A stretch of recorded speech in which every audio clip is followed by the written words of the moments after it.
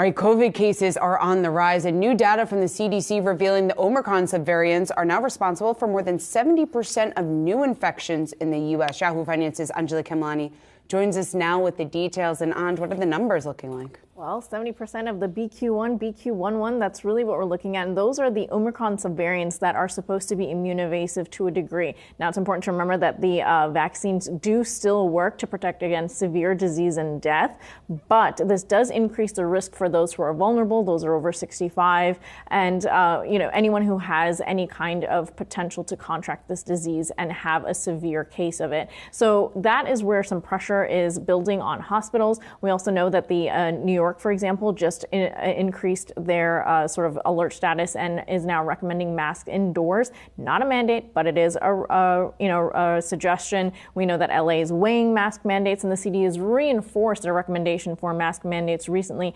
as or for masking rather indoors as a result of this rise in cases. And also important to point out that uh, you know hospitals are under pressure right now as a result of this plus RSV plus flu. We know that that's what's been pressuring the system, and that's important to point out, especially because we know how much this is impacting the pediatric population. Right, kids are not finding beds when they get really sick because some of those beds had been moved into uh, the adult population, and so they're sort of missing. And there's, there's this whole ongoing sort of hospital structuring system in play. Hearing a lot about that in, in Hartford and out my neck of the woods.